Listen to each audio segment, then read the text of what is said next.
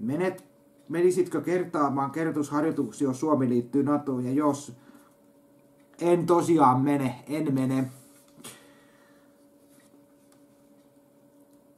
En, en, en mene.